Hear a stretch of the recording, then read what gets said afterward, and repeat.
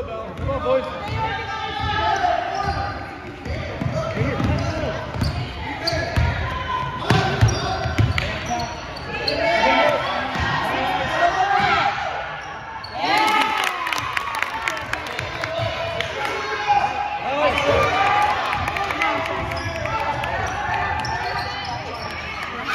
Hey, boy.